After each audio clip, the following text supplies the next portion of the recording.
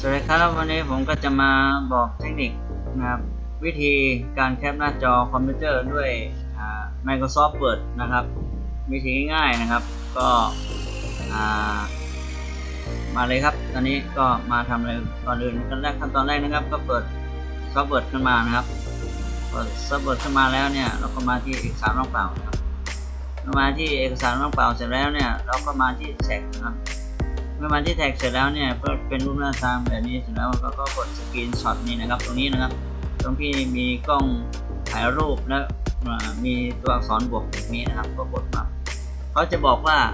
เอาเมาส์จิ้มตัวนี้เขาก็จะบอกว่าเก็บ screenshot เพิ่ม snap ช็อตของหน้าต่างใดๆ ที่เปิดอยู่บนเดสก์ท็อปลงในเอกสารของคุณอย่างรวดเร็วนะครับ โอเคนะครับแล้วเราคลิกมาปุ๊บนี่ครับ ตอนนี้ที่ผมเปิดเนี่ย ก็จะเปิดอยู่2 desktop นะครับ อยู่นี่นะครับ ประมาณนี้ผมเอาเป็นตัวอย่างให้ดูนะครับ อ่า นะครับ ประมาณนี้ อันนี้ไม่เกี่ยวกันนะครับ อ่า นะครับ เราจะแบบนี้ก็ได้นะครับ เราจะสกรีนช็อตอ่าอันใดอันหนึ่งก็ได้นะครับ ที่เราเปิดมานี้ปึ๊บนี่เห็นไหมครับ สมมติว่าตัวอย่างตัวนี้นะครับ เราจะต้องการตัวนี้นะสกรีนช็อตตัวนี้ แล้วก็คลิกขวา แล้วก็บันทึกรูปภาพนะครับ เราจะเก็บนะครับแล้วบันทึกชื่อไฟล์ตั้งชื่อไฟล์ของเราเสร็จแล้วเราก็มานามสกุลของไฟล์นะครับ เราจะบันทึกด้วยนามสกุลอะไรนะ JP JPEG หรือหรือตัวนี้นะครับเลือกตัวนี้ก็ได้นะครับเรากดบันทึกไปโอเคเรียบร้อยแล้วแค่นั้นเองนะครับอ่าแล้วก็ปิดไม่บันทึกแค่นั้นเองนะครับอ่าเดี๋ยวลองดูนะครับเมื่อกี้เราบันทึกตัวนี้นะเราก็เข้ามาที่ไฟล์ อยู่ที่ picture นะครับ แล้วก็มานะครับ นี่นะครับนี่เห็นไหมครับ ที่เราบันทึกเมื่อกี้นะครับ เนี่ยตัวนี้นะครับ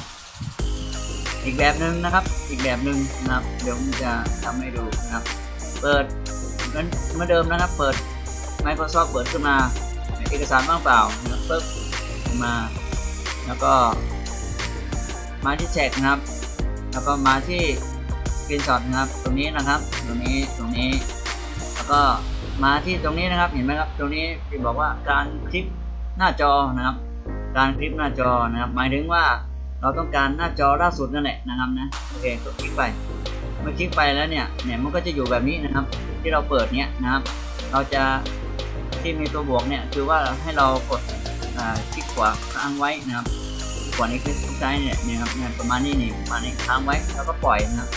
เราครอบตามที่เราต้องการเสร็จแล้วก็ปล่อยนะครับ เช่นแบบนี้นะครับ ผมจะยกตัวอย่างแบบนี้แล้วก็ปล่อยนะปุ๊บนี่นะมันก็มานี้ละแล้วก็เหมือนเดิมครับบันทึกไว้เหมือนเดิมประมาณนี้กดคลิกขวาประมาณบันทึกรูปภาพเป็นเป็นรูปภาพมันประมาณนี้นะครับเราก็ตั้งชื่อนะครับปุ๊บปุ๊บนี่เราบันทึกแค่นี้เองนะครับโอเคนะครับง่ายๆอีกแนวหนึ่งนะครับ ที่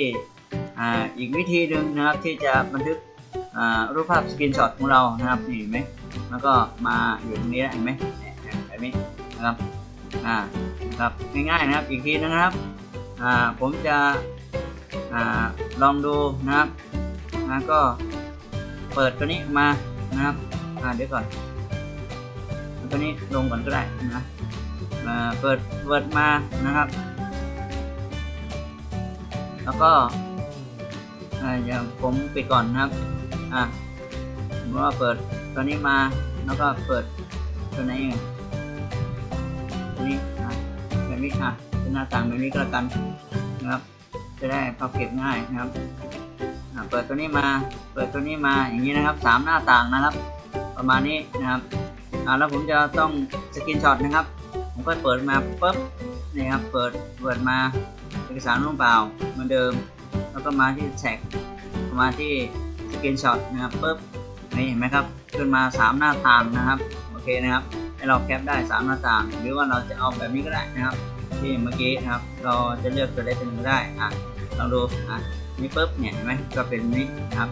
หรือเราไม่เอาเรากลับเนี่ยเราก็มาตรงแทรกเหมือนเดิมแค่นี้เองนะครับนี่ประมาณนี้อะเราก็มาตรงนี้นะครับนี่แล้วก็เราอยากจะบันทึกแบบไหนนะครับโซนไหนนะครับ ก็ว่าไปนะครับ ประมาณนี้โอเคครับสำหรับคลิปวิดีโอนี้ก็มาบอกเทคนิค